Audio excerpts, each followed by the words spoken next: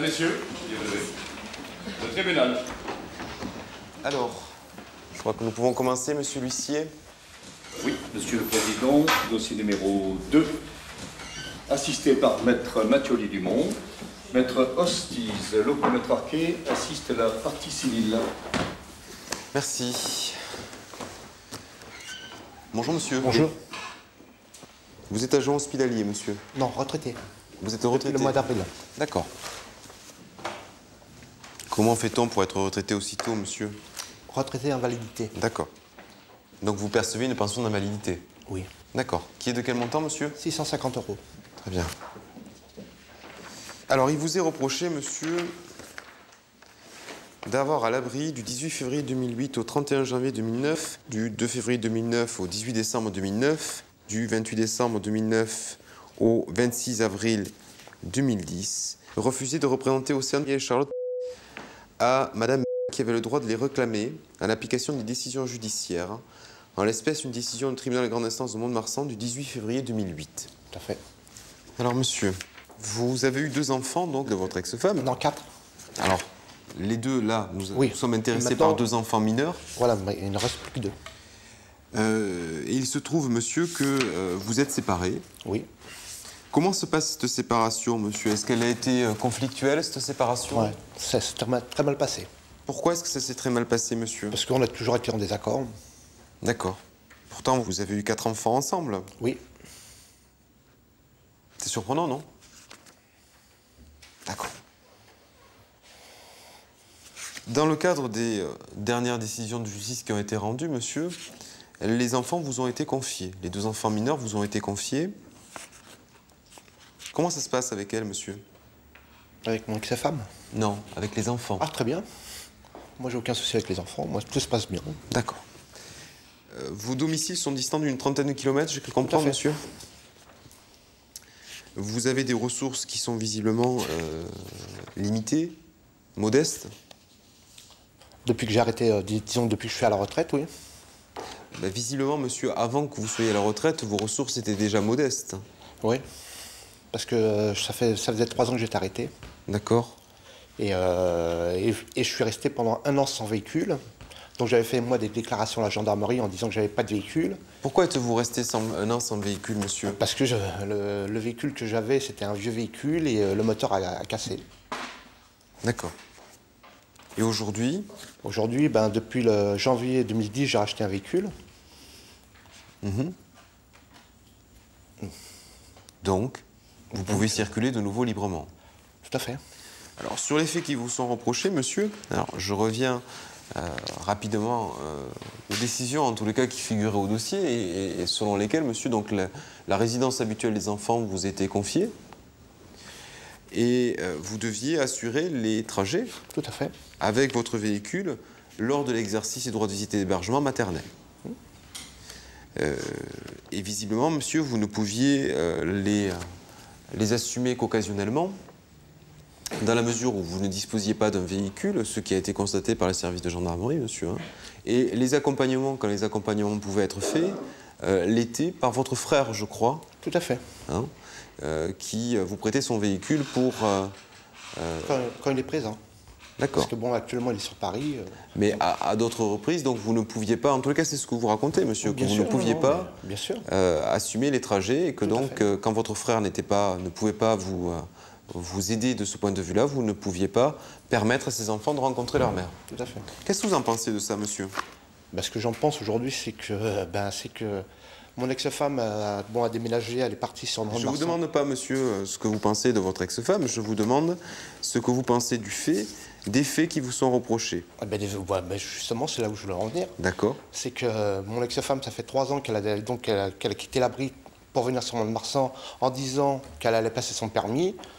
Et toujours, ça, au bout de trois ans, il n'y a toujours rien de fait. Et c'est toujours à moi d'assumer euh, les filles. euh, malgré mes, mes faibles revenus, c'est à moi de prendre en charge le trajet. Donc 30 km aller, 30 km retour le samedi matin, 30 km aller, 30 km retour le dimanche. Et moi, on ne me demande pas si, euh, si je peux payer l'essence. Parce que moi, elle ne me verse aucune pension alimentaire. J'ai rien de, de sa part. Il faut que j'assume tout. quoi. J'ai cru Aujourd'hui, ce comprendre. que je demande, moi, c'est de- que, le- que, le- que le transport soit partagé. J'ai cru comprendre, monsieur, que Euh, votre, euh, enfin, la mère de vos, de vos deux derniers enfants, monsieur, avait elle-même une situation sociale et, euh, qui, était, euh, qui était précaire. qu'elle ne disposait pas de ressources particulièrement élevées, monsieur. Oui, mais elle touche plus que moi quand même.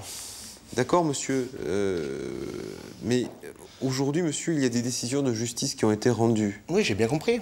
J'ai bien compris, mais le problème. c'est J'en moi- doute, monsieur. J'en doute. C'est que moi, je- les week-ends où elle doit voir les enfants, j'ai pas euh, financièrement, j'ai pas toujours les moyens. Mais monsieur, euh, je je trouve qu'il est euh, très bien, mais aussi normal que vous assumiez vos enfants, monsieur. Nous sommes d'accord là-dessus Oui? Oui, oui, bien sûr. D'accord. Euh, euh, N'est-il pas important, monsieur, pour euh, vos enfants, dont vous me rappelez l'âge, s'il vous plaît? 13 ans et 8 ans. D'accord. Des enfants de 13 ans et 8 ans, monsieur, qu'elles puissent rencontrer régulièrement leur mère. Oui, c'est vrai. Mais j'avoue, je me suis déplacé à plusieurs reprises sur Mont-de-Marsan lui déposer les enfants. Un coup, elle fait une lettre à la police comme quoi elle veut tout voir les enfants. Parce que ça, c'est. euh, moi, j'ai été à la police faire une déclaration avec le courrier qu'elle m'avait envoyé. Elle voulait plus voir ses enfants. Après, je me déplace au mois de novembre. Elle est hospitalisée à Saint-Anne. Je me déplace pour rien, quoi. Parce qu'elle me prévient même pas qu'elle veut pas ses enfants. Je me suis déplacé à plusieurs reprises quand même. hein. Ne pas vous ne pensez pas, monsieur, que euh, si, si votre épouse est, est hospitalisée à Sainte-Anne, ce qui a été le cas, c'est qu'elle présente une certaine fragilité, monsieur? Et c'est à moi de l'assumer, ça Ce n'est pas, monsieur, je, je ne dis pas que vous devez assumer la fragilité de la mère de vos, vos deux filles, vos deux dernières filles. Je, je dis, monsieur, que euh, c'est à vous peut-être euh, de penser en particulier à l'intérêt des enfants. Et l'intérêt des enfants, monsieur, Alors, on y revient. et l'intérêt des enfants, monsieur, n'est-il pas que euh, vous leur permettiez, malgré les hospitalisations de leur mère, de, de- de pouvoir la rencontrer? Eh ben, on y revient. Au mois d'août, elle, avait la- elle devait avoir donc le mois d'août la garde des enfants pendant un mois. Au bout de trois jours, ma fille Océane, de 13 ans, m'a appelé. Au bout de trois jours, hein, papa, tu viens, tu viens me rechercher parce que ça se passe mal chez maman. Voilà. Et qu'est-ce que vous avez fait, monsieur? Ben, je suis venu la rechercher parce que ça se passait mal chez sa, chez la- chez sa maman. Et elle, elle voulait pas la garder non plus. Donc, euh, ben, je suis revenu chercher ma fille. hein. Ce que je trouve particulièrement euh, euh, dommage, monsieur, je me permets d'émettre un avis personnel sur la question, c'est que euh, ni l'un ni l'autre, là, en entretenant son conflit, et vous en particulier, monsieur, en ne permettant pas à ses enfants de pouvoir rencontrer leur mère, et quelles que soient ses qualités et ses défauts, euh, vous mettez, ou vous mettrez, vos deux enfants, monsieur, qui ne sont pas, l'une qui n'est pas encore adolescente, l'autre qui est en pleine adolescence, vous les mettrez en grande difficulté à l'avenir. Je vous le dis, monsieur. Oui, peut-être. Parce que euh, il n'est pas impossible que ces deux filles vous reprochent à un moment donné de ne pas avoir fait le nécessaire pour aller voir leur mère. Le risque existe aussi, monsieur, qu'à un moment donné, elles idéalisent leur mère, puisqu'elles ne la voient pas. Et puis, monsieur, pour, pour couronner le tout, je crois qu'il y a des décisions de justice qui sont rendues. Bien sûr. Et que vous devez les respecter. C'est difficile, hein. Parce qu'en plus, quand je dépose moi mes filles chez leur mère, c'est des insultes sans arrêt. Monsieur, Je sors même plus de mon véhicule. qu'est-ce que vous apprenez à vos enfants Qu'est-ce que vous apprenez à vos enfants, monsieur La politesse, le respect. D'accord. Comment, monsieur, peut-on apprendre la politesse et le respect, notamment le respect à l'égard des adultes, des- de la loi? C'est ça que vous leur apprenez, monsieur? Oui. En ne respectant pas vous-même les décisions de justice? Parce que ça fait trop longtemps que ça dure. Ça va durer, ma, ma fille, elle a, elle a- elle a 8 ans, la dernière, je parle de la dernière, elle a 8 ans. Donc ça va durer jusqu'à qu'elle ait 18 ans, c'est moi qui vais faire le, le trajet sans arrêt. Mais qu'elle s'assume, moi je demande qu'elle s'assume, c'est tout. Monsieur, les décisions qui sont rendues prévoient cette organisation. Donc vous devez les, les respecter. Monsieur. malheureusement, j'ai pas toujours les moyens de les, de les respecter. Le problème, est là. Bien, monsieur, à ce moment-là, vous mettez, vous faites en sorte d'avoir les moyens de les respecter dans l'intérêt de vos filles. Il s'agit de l'intérêt de vos filles. Vrai.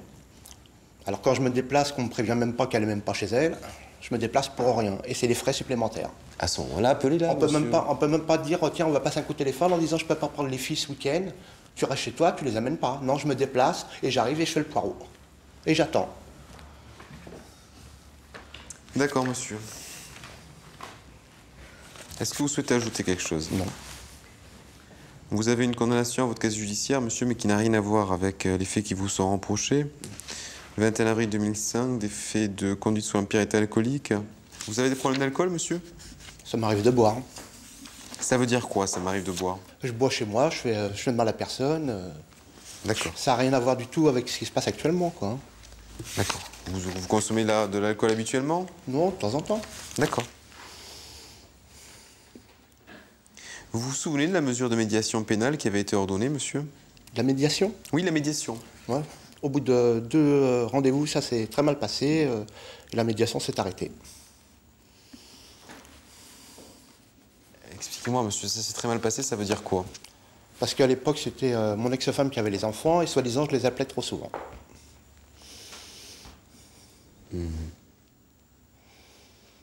Nous avons reçu monsieur à notre bureau. Il nous informe qu'il n'a pas de véhicule et qu'il ne peut donc pas amener les enfants à leur mère comme le prévoit l'ordonnance. À l'époque. Nous lui proposons des solutions, taxi, famille, mais il trouve des excuses pour ne pas amener les enfants. Un taxi, oui, avait été proposé. 50 euros l'aller, 50 euros le retour. Et comment je fais, moi? Deux fois, donc 100 euros donc, sur un week-end, 100 euros le week-end euh, 15 jours après. Et je fais comment, moi, avec 650 euros? Monsieur, je- si je peux comprendre le, le- le caractère modeste de vos revenus, euh, je- je- la fréquence des droits de visite, quelle est-elle, monsieur, les droits de visite hébergement? C'est quoi la fréquence? Un week-end sur deux D'accord, et euh, la moitié des vacances. d'accord. Vous ne pouvez pas faire 60 km en week-end sur deux? Je peux pas faire combien? 60 km, 120 km. Ah ben non, pas tout le long, non. Non, vous pouvez pas. Non, ben non. Avec mes revenus, non, je peux pas, non. Parce que 120 km et 120 km, ça fait 240 km. C'est énorme pour moi. hein. Je peux même pas payer à mes enfants un week-end à la plage. Disons un week-end, un samedi, je peux même pas dire à mes filles, parce que je suis à 60 km de la plage, je- on va aller à la plage. Je n'ai pas les moyens de le faire. Alors qu'est-ce qu'on fait aujourd'hui, monsieur? Moi, ce que je demande aujourd'hui, c'est que les frais soient partagés, simplement. Oui, monsieur, mais jusqu'à maintenant, les décisions qui ont été rendues ne font pas droit à cette demande. Ben, Donc qu'est-ce qu'on fait aujourd'hui, monsieur Ben, j'attends, le, j'attends le, le 10, savoir ce que le juge va prendre comme décision. Et aujourd'hui, monsieur, vous assurez les, euh, les trajets, les transports Non, le- là, elle est venue les chercher pour le- la semaine du Nouvel An. Elle a assumé, elle a assumé avec euh, une amie à elle. Elle est venue chercher les enfants. Comme quoi, quand elle veut, elle peut venir chercher les enfants. Au moins, assumer l'aller. Moi, j'assume leur tour. D'accord, monsieur. Très bien. Des questions à poser à monsieur Pour la partie civile qui est une ici question. Oui, je vous en prie. Et 3 km, vous pouvez le faire? Normalement- Ostice, je voudrais comprendre le sens de votre question. Pardon. C'est parce que madame est venue, euh, elle a proposé à monsieur euh, qu'elle prenne le bus. Elle va à pied 3 km chez monsieur, elle a fait, et elle prend les deux petites filles pour reprendre le bus. Et elle lui a demandé, parce que le bus, en fait, il n'y en a pas beaucoup, et elle n'avait pas le temps de faire ces 6 km, s'il pouvait aller jusqu'à euh, l'arrêt de bus. 3 km, et monsieur a refusé. Pas du tout. Pas du tout. Elle Au tribunal, monsieur, au tribunal. Vous, vous répondez au tribunal. Non, pas du tout. Moi, quand elle m'a dit je viens chercher les filles en bus, elle m'a, moi, elle m'a pas dit tu me le déposes à l'arrêt de bus. Elle m'a dit je viens chercher les filles à telle heure, point. Après, bon, c'est vrai qu'ils ont fait 3 km à pied, mais moi, elle m'a pas dit je viens chercher les filles. euh, Ça, juste vous est tu me pas- et déposes ça, les pas- filles. et ça- ça ne vous est pas venu à l'esprit que vous pouviez les déplacer sur 3 km jusqu'à l'arrêt de bus? Ben non, parce qu'elle était venue à pied. hein. Simplement. Eh bien, si vous, si vous me permettez l'expression, monsieur, on n'est pas sorti de l'auberge. hein. Du tout. Mais non, ça fait 7 ans que ça dure. Ah oui. Mais, mais, mais, mais il, est quand même, il est quand même ahurissant d'avoir aussi peu de réflexion par rapport à l'intérêt de vos enfants. C'est- extraordinaire, monsieur. Non, mais c'est extraordinaire. Laissez-moi vous le dire, monsieur. C'est quand même extraordinaire. Parce que là, il ne s'agit pas de vous deux, il s'agit de vos enfants. Bien sûr. Ah oui, bien sûr. ouais. Une autre question, maître Six Oui, une petite question. Quand vous étiez en arrêt maladie, Oui. que vous avez rencontré quelqu'un à l'hôpital de Dax, on vous a proposé une aide pour prendre en charge les allers-retours. Elle était d'un montant de combien cette aide? Je sais pas. Honnêtement, je sais pas. 500 euros deux fois Ben, par je an. sais pas du tout. D'accord. Très bien, merci maître Stis. D'autres questions à poser à monsieur pour le ministère public? Pas de questions, Monsieur le Président. Pour la défense? Pas de questions. Alors je vous invite à vous asseoir, monsieur, s'il vous plaît. Maître Stis. Je ne vais pas revenir sur leur histoire de couple parce qu'on a tous compris qu'ils se sont aimés et puis maintenant c'est la haine. Madame est en grande souffrance. D'ailleurs, je vous ai fourni les certificats médicaux parce que et son traitement, parce qu'elle est en dépression du fait de ne pas voir ses filles. Elle le vit extrêmement mal. Elle a été hospitalisée à Sainte-Anne et elle vit une vraie catastrophe. Elle est continuellement en demande. Et par exemple, quand elle appelle pour parler aux filles, ben, elles sont jamais là, ou elles jouent dehors, ou elle peut même pas les avoir au téléphone. Et il y a eu plusieurs épisodes où ils essayent de trouver un accord. Et quand elle, elle réussit à se faire amener par quelqu'un. Ah bah tiens. Eh, mesdames, vous vous taisez, sinon vous sortez. Sinon, je demande à monsieur l'huissier de vous faire sortir. Si vous souhaitez vous exprimer sur les débats, vous allez le faire au, café qui est à l'extérieur du tribunal. Est-ce que je me suis fait comprendre? Madame? Oui. Non, non, la dame qui est à côté de vous. Je me suis fait comprendre Si, madame. Non, c'est moi qui Non, je lui ai dit de se taire. Madame, vous taisez, s'il vous plaît. Maître Hostiz. Oui, mais je suis coupée en plein élan, mais ça met un peu le contexte. Dans toute la procédure, il dit à chaque fois Oui, je sais, je, reconnais les faits, je ne l'ai pas fait et je ne le ferai pas. Parce qu'il y a eu cette aide qui a été proposée 500 euros deux fois par an. Ça couvrait bien les frais de taxi. On a eu, quand elle, elle se débrouille à avoir 2 euros pour l'aller et 2 euros pour le retour. Et quand elle lui demande Mais elle, tu peux me les amener, s'il te plaît, à l'arrêt? Et qui dit non, mais c'est horrible. Quand j'ai demandé à madame, quand je l'ai rencontrée, qu'est-ce que vous voulez de l'audience? Qu'est-ce que vous voulez? Elle me dit, mais je veux voir mes filles. Et je lui dis, eh, dommage intérêt. Elle me dit, mais non, moi je veux voir mes filles. Et je lui dis, madame, moi je vais demander des sous. Et je vous demandais 4000 euros en dommages intérêts. Je vais demander des sous. Je sais que ça fait beaucoup. Parce que madame, vous allez sortir cette situation en pouvant passer votre permis de conduire parce qu'elle n'a pas les sous pour le faire et en s'achetant une voiture. Alors aujourd'hui, je vous demande de recevoir sa constitution de partie civile, de lui accorder les 4000 euros qui vont faire sortir tout le monde de cette situation parce que lui, avec l'entourage qu'il a, il va pouvoir les payer les 4000 euros. Lui, il a tout le monde autour. Mais bien sûr, et pour la peine, je m'en remue. Je vous remercie. Merci, Maître Hostice. Madame le procureur de la République, vous avez la parole pour vos réquisitions. Oui, Monsieur le Président. Euh, ce qui m'inquiète dans ce dossier, et vous l'avez relevé, Monsieur le Président, c'est qu'à aucun moment on ne, on ne, on ne sent qu'il a pris conscience de l'intérêt de ses enfants. Et l'intérêt de ses enfants, il est très clair, c'est pas le tribunal correctionnel qui le dit, c'est le juge aux affaires familiales qui le dit lorsqu'il accorde euh, l'autorité parentale conjointe aux deux parents, lorsqu'il octroie euh, à la maman un droit de visite et d'hébergement tous les 15 jours, lorsqu'il octroie la moitié des vacances scolaires et lorsqu'il dit euh, condamne monsieur à amener les enfants à son ex-femme et à payer les trajets. Voilà, monsieur n'est pas au-dessus des lois, n'est pas au-dessus des décisions de justice et doit s'y conformer strictement. Et si le seul moyen de contraindre monsieur à faire respecter ces décisions de justice est de l'envoyer en prison, eh bien votre tribunal correctionnel en a aussi la possibilité. Alors aujourd'hui, vous entrerez en voie de condamnation.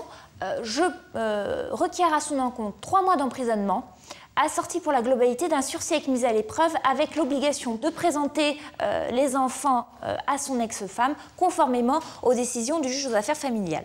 Et je crois que simplement la peine de prison au-dessus de sa tête est de seule nature à pouvoir le contraindre à enfin respecter ces décisions de justice qui depuis 2008 sont purement et simplement violées par celui-ci.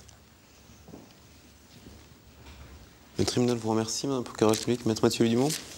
Je crois quand même qu'il faut que la lumière soit faite sur ce dossier et sur euh, la responsabilité euh, de, de M. sur la situation actuelle. Quand j'entends dire euh, par la partie civile que la maman est malade, qu'elle est hospitalisée régulièrement et que ces faits sont dus au manquement de M. d'emmener les enfants, je dis non, je dis non, c'est faux la, problématique de Madame est bien plus ancienne et euh, si aujourd'hui elle a des difficultés, ce n'est pas la conséquence du comportement de Monsieur. Dans ce dossier, les parties ont divorcé il y a de nombreuses années. Je crois qu'au niveau procédural et au niveau affectif, elle lui a tout fait. Elle a multiplié les procédures, elle a multiplié les demandes d'enquête sociale, elle a même saisi le juge des enfants. Une première fois, il lui a dit non, il n'y a, euh, a pas nécessité effectivement de mesures d'assistance éducative. Elle a saisi le juge. Les enquêtes sociales ont toujours été constantes. Il a toujours pallié aux difficultés de la maman et s'est toujours occupé de ses enfants. Il n'en peut plus, c'est vrai. C'est un homme brisé. C'est un homme, quand vous lui demandez s'il boit, oui, de temps en temps. De temps en temps, il boit parce qu'il n'en peut plus. Il a été mis en invalidité pour des problèmes de santé. Aujourd'hui, il est à la retraite. Il gagne 650 euros. Moi, je défie quiconque dans cette salle d'audience de vivre avec 650 euros deux enfants à charge et lorsque vous lisez le rapport d'enquête sociale, il s'occupe de ses filles, elles sont bien tenues, elles sont propres, elles sont scolarisées et tout ça il le fait avec 650 euros. Moi très honnêtement je ne sais pas comment il fait. Alors c'est vrai, il vous le dit, il a l'honnêteté de, l'exprimer à la barre. Il pourrait très bien euh, faire la pleureuse et vous dire je peux pas peux pas payer, mais il vous exprime sa colère et effectivement il ne respecte pas la décision de justice parce qu'il ne veut pas respecter la décision de justice. C'est vrai, c'est vrai, c'est incontestable, et il sera condamné pour ces faits-là. Mais ce qui est important, c'est que euh, ce n'est pas une décision qu'il prend de gaieté de cœur. C'est vrai que c'est quelque chose qu'il il, n'en peut plus. Dans la vie, parfois, il y a des moments où on fait des choses qui ne sont pas euh, respectables euh, au sens de la loi, mais on les fait quand même parce qu'on n'en peut plus.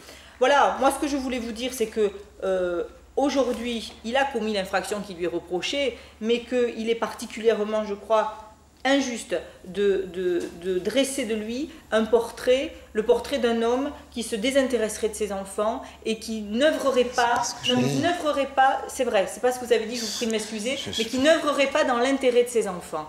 Euh, il œuvre dans l'intérêt de ses enfants et je crois que c'est le seul à œuvrer dans l'intérêt de ses enfants et depuis, depuis de nombreuses années. Sur la convention de partie civile, paraît-il qu'il va trouver 4000 euros euh, comme ça, sous le fer d'un cheval, sans aucune difficulté. Et paraît-il que ce n'est pas une question d'argent. Euh, je suis désolée, 4000 euros, c'est absolument impossible. Euh, c'est sa maman qui est dans la salle qui a manifesté effectivement son mécontentement. Elle, a le RSA. je ne vois pas qui va l'aider et, je ne crois pas que ce soit en mettant encore plus Monsieur en difficulté financière qu'on va pouvoir permettre d'avancer dans ce dossier. Donc vous apprécierez le montant des dommages et intérêts. Merci, maître Monsieur Dumont. Monsieur, vous venez à la barre, s'il vous plaît? Souhaitez-vous ajouter quelque chose, monsieur? Non, monsieur le juge. Le tribunal vous déclare coupable des faits qui vous sont reprochés. Vous allez bien écouter ce que je vais vous dire, hein, monsieur. Euh, vous êtes condamné à une peine de 3 mois d'emprisonnement avec sursis et mise à l'épreuve pendant 18 mois avec l'obligation de remettre vos enfants entre les mains de euh, Madame à l'occasion de ses droits de visite et d'hébergement. C'est-à-dire que vous devrez respecter la décision de justice qui a été rendue, monsieur. Si vous ne deviez pas respecter ces obligations, monsieur, et ça sur un délai de 18 mois, vous seriez susceptible d'exécuter ces trois mois d'emprisonnement.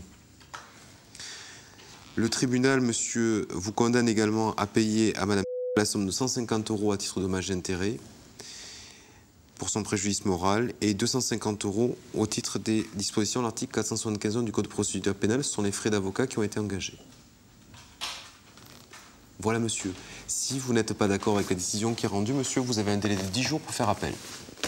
Au revoir, monsieur. Vous pouvez avoir la parole, monsieur Non, madame, vous ne pouvez pas avoir la parole. C'est moi qui... Non, madame, vous ne pouvez pas avoir la parole, madame. Je vous demande de sortir. Merci. Madame, je, vous demande de sortir dans le calme, s'il vous plaît. S'il vous plaît.